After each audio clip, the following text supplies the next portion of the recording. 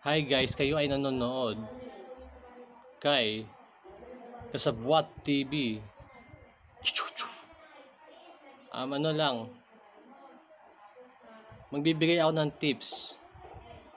Ito kasi, ano to, hot topic to, hot topic. Kung syempre, kilala lang na kilala lang lahat naman to, no? Uh, isa sa big time YouTuber si ano si Rapi Tulpo. So kilala, kilala ng lahat to. So ano kasi yun eh. Ngayon kasi maraming nag-unsubscribe sa kanya. Dahil nga kinumpare niya yung shoutout kay Nok Nok tsaka kay Dogdog.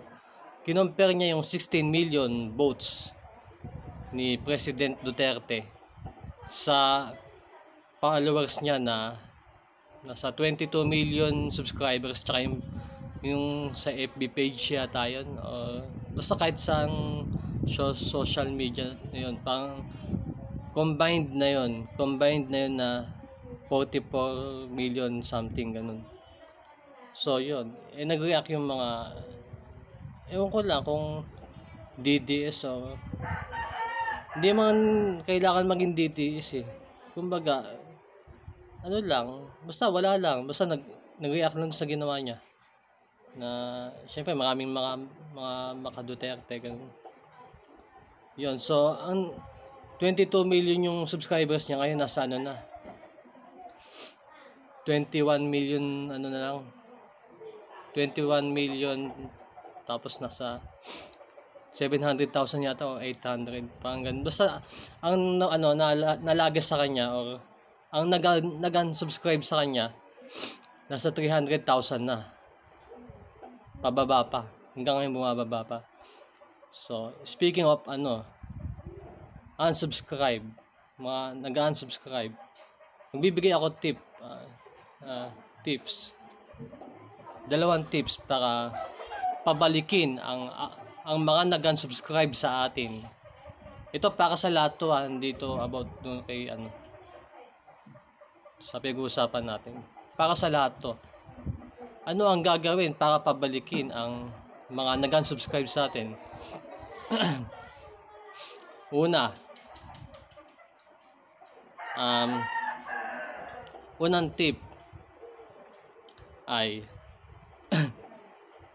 gumising ng 3 a.m.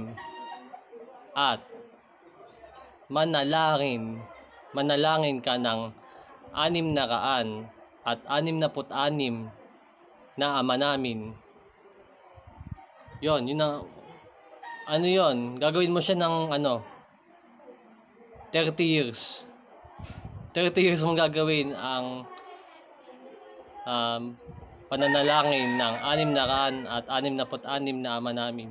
30 years mo siyang gagawin para mapabalik ang mga nag-unsubscribe. And second tip, uh, ang ating pangalawang tip ay um, ang gagawin mo ay kailangan makuha mo yung karet ni kamatayan. Yun. Kaya mo nakita mo si kamatayan, kailangan makuha mo yung karet sa kanya. Yun. Pag nagawa mo yun, pag nagawa mo ah, uh, ano na, yung lahat ng nag, lahat ng nag, lahat ng nag-unsubscribe sa iyo ay babalik na. Magbabalik loob sila. Yun. Yun ang term. So yan ang ating tips kung paano pabalikin, pabalikin ang mga nag-unsubscribe sa atin. Ito po si Kasabuat TV na nagsasabi na kung marami man na, ang nag-unsubscribe masakit talaga. Thank you.